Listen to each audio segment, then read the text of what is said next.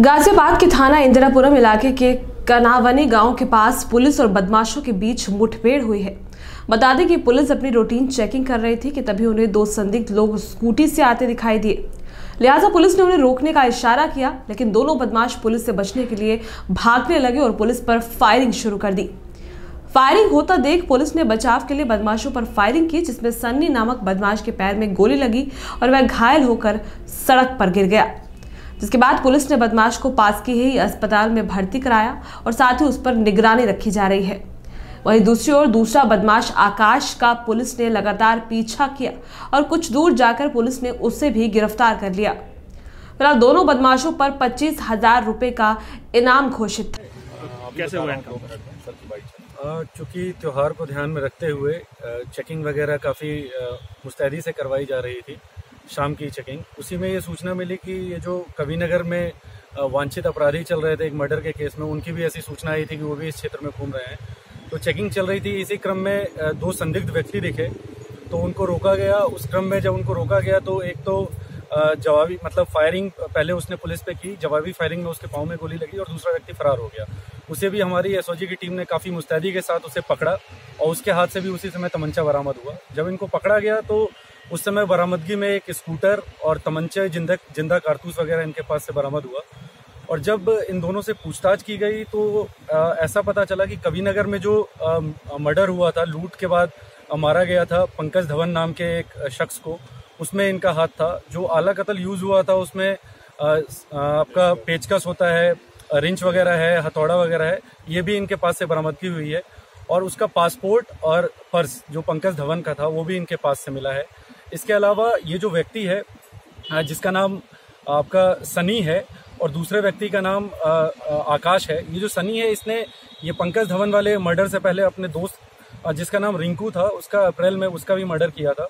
उसमें जिस दिन उसकी तारीख थी कोर्ट में, उसी दिन इसका प्लान बना अपने दोस्तों के साथ कि एक और लूट कारित की जाए, जिसमें इस पंकज नाम के व्यक्ति की जान गई थी। इसके साथ साथ स्कूटी वगैरह और तमंचा और कारतूस वगैरह भी बरामद हुए सर जिस तरीके से ये टूल बॉक्स का इस्तेमाल करते थे किसी हथियार का कम इस्तेमाल करते थे इनके बैग में भी अभी टूल बॉक्स मिले पेचकस मिला है हथौड़ा मिला है जिला सिद्धार्थनगर में बीते 19 तारीख को महारिया गाँव के गौशाला में 15 गायों के शव व अव्यवस्था को लेकर खबर का बड़ा असर हुआ है।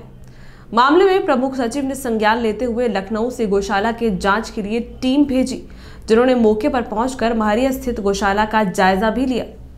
आप देख सकते हैं कि जाँच टीम के आने के बाद गौशाला में साफ़ सफ़ाई और घायल व बीमार चल रही गायों की मरहम पट्टी व इलाज शुरू हो गया है। डॉक्टर साहब आप यहाँ पर आए हैं गाय के हालात देख रहे हैं।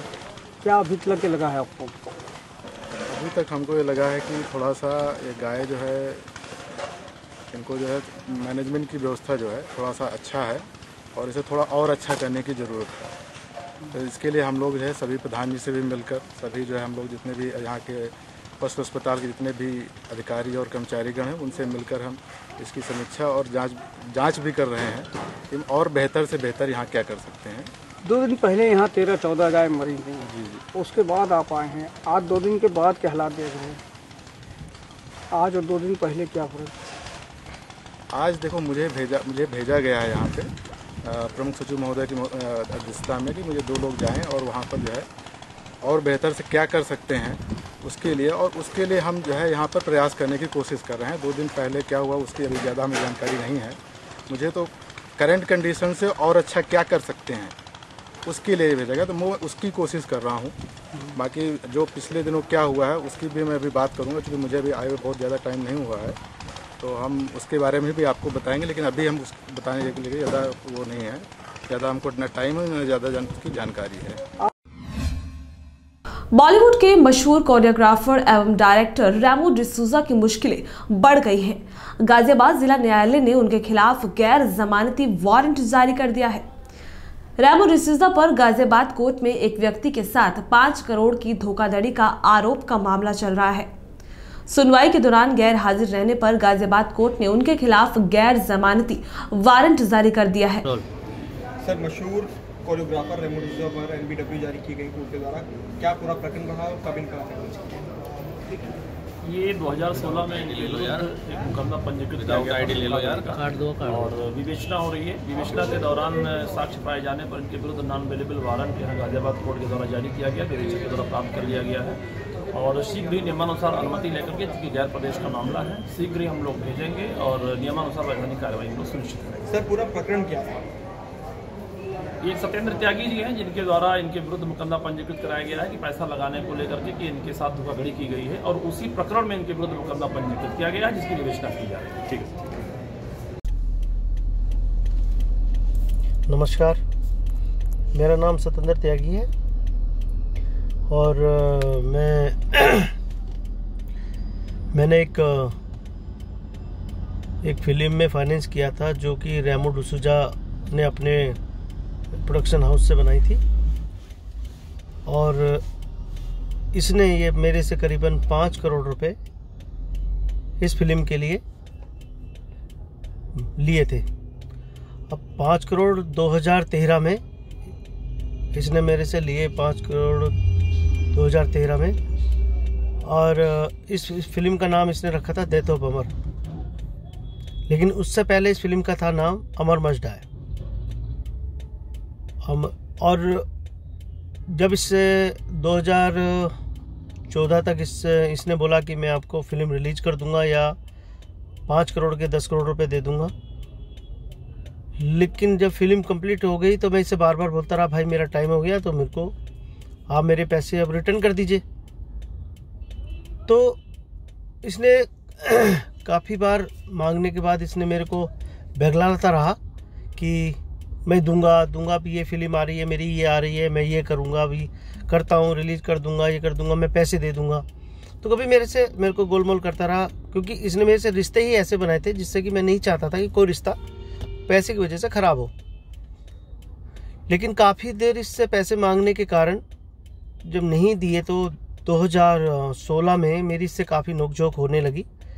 तो मैंने इससे बोला तो इसने कहा कि मैं पैसे नहीं दूँगा। फिर मैंने अपने गाजियाबाद थाना सियानी गेट में मुकदमा दर्ज कराया इसके खिलाफ।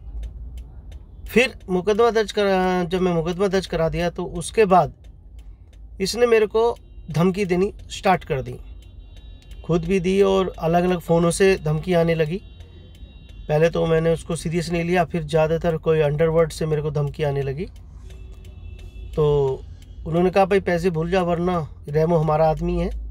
मैंने कहा सर मैं अपने तो पैसे मांग रहा हूँ तो मुझे अपने पैसे मांगने में अब कोई गलत बात तो है नहीं? नहीं नहीं तो काफ़ी हुआ तो फिर मैंने इससे बोला तो इसने कहा हाँ मैं पैसे नहीं दूँगा।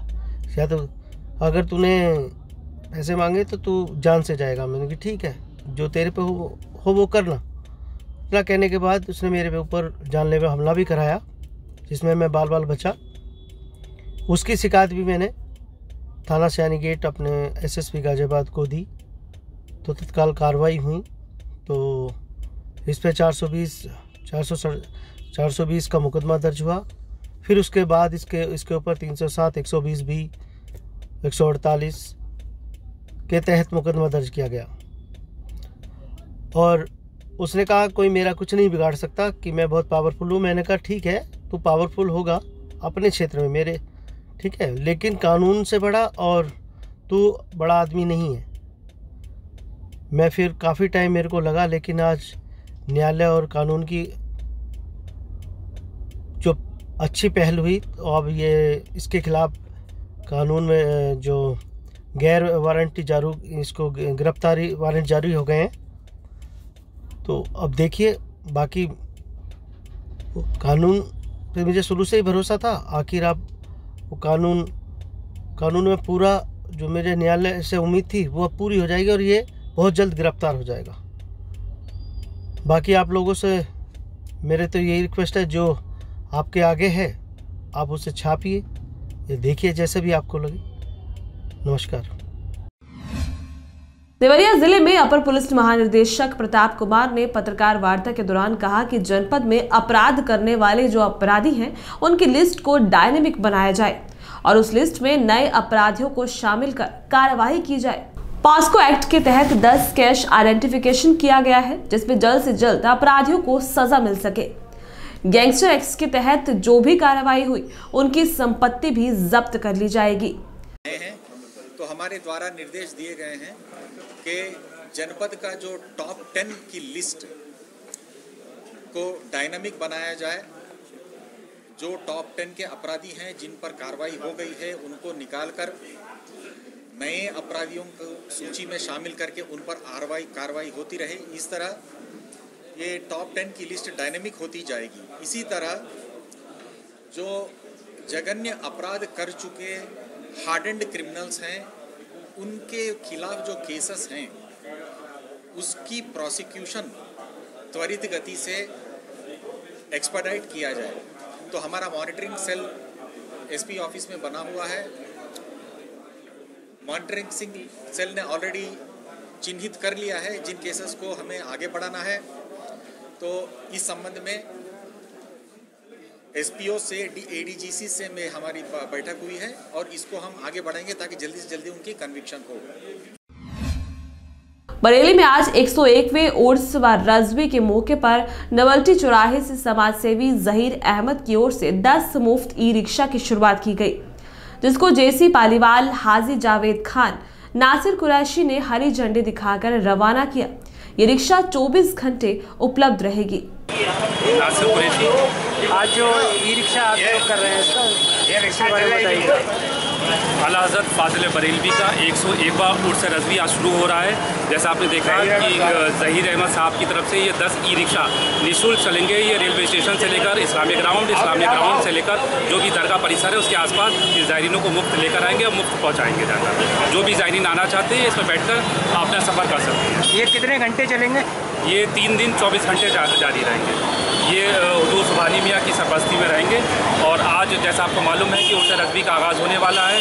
शाम को पाँच बजे सुबहानी मियाँ साहब अपने दस्ते मुबारक से इस्लामिया ग्राउंड में पच्चम कुशाई की रस्म अदा करेंगे। इसी के साथ इनोज़ा उर्स शुरू हो जाएगा। रात में आल इंडिया नातिया मुशायरा होगा। इसमें देश विदेश के तमाम शोर कराम अपनी कलाम पेश करेंगे। मुफ्ती मुफ्ती एहसन रजा खान साहब जो दरगाह के सजादा नशीन हैं उनकी तरफ़ से तमाम जगहों से जुलूस शुरू हो चुके हैं। आज पच्चम कुशाई का जुलूस आजमनगर से ठरिया निजावत खान से इस्लामी ग्राउंड में पहुँचेगा। यहाँ पर जायरीन पूरे देश और दुनिया के जायरीन यहाँ पर आए हुए हैं। हम साहब मेरे साथ खड़े हुए हैं, हमारे साथ तमाम लोग यहाँ पर हैं। यहाँ पर जो निःशुल्क सेवाएँ रजिस्टर्ड जो इलेक्ट्रिक रिक्शा हैं, उन्होंने कहा कि हम जो बाहर से जारी आ रहे हैं, और ये पाँच साल से कार्यक्रम जहीर अहमद साहब कर रहे हैं। जहीर एक बहुत अच्छे समाज सेवी भी हैं, और हमारे साथ एक बहुत अच्छे एक एंकर हैं। उनकी ओर से, उन लोगों की ओर से आयोजन किया गया कि बाहर के आने वाले किसी व्यक्ति को कोई भी आए, उसको कोई तकलीफ़ ना हो। इसके लिए जो लोग अला हज़रत के दरबार तक जाएँ या कहीं जाना चाहें, उनके लिए बड़ी खुशी की बात यह है कि यहाँ के बड़े, बड़ी संख्या में यहाँ के रिक्शा चालकों ने कहा कि नहीं, हम सेवाएँ निःशुल्क देना चाहेंगे। और उन्होंने रजिस्टर्ड होने के नाते हमने पहले कहा, कोई भी अनऑथराइज रिक्शा रोड पर बहराइच में शासन द्वारा नियुक्त नोडल पुलिस अधिकारी, पुलिस महानिरीक्षक श्रीमती पंजा चौहान द्वारा कस्बा जरवल रोड में संभ्रांत व्यक्तियों के साथ मीटिंग की गई, जिसमें बहराइच पुलिस अधीक्षक डॉक्टर गौरव ग्रोवर क्षेत्र अधिकारी कैसरगंज आदि लोग मौजूद रहे। जनपद हापुड़ के सिंभावली क्षेत्र के अंतर्गत आने वाले कस्बा बक्सर में खल चोरी का व्यापार करने वाले दिनेश कुमार से डरा धमका कर फ़ोन पर 10 लाख की रंगदारी मांगने वाले को सिंभावली पुलिस ने चेकिंग के दौरान डिबाई नानपुर मार्ग से नरेंद्र निवासी पोपाई थाना गढ़ मुक्तेश्वर को एक 315 बोर तमंचा, दो ज़िंदा कारतूस के साथ गिरफ़्तार कर लिया है। वहीं पूछताछ में गिरफ़्तार युवक ने सिंभावली कस्बा बक्सर में खल चुनने का व्यापार करने वाले दिनेश कुमार से रंगदारी मांगने की भी बात स्वीकार की है। वहीं पुलिस जाँच में नरेंद्र पर नौ मुकदमे, गढ़ कोतवाली में आपराधिक संगीन धाराओं में दर्ज हैं। इसका एक साथी अभी फरार है जिसकी सरगर्मी से पुलिस तलाशी कर रही है। तो ये वही आरोपी है जिसने खल व्यापारी से दस लाख की रंगदारी मांगी है। कोई और भी साथी है इसका?